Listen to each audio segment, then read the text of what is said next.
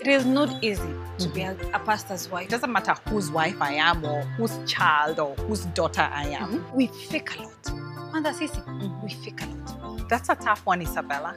That is a really, and we really stomach. Yes. and we go back to our beds and we cry. in 360 plus, where Jesus makes us whole.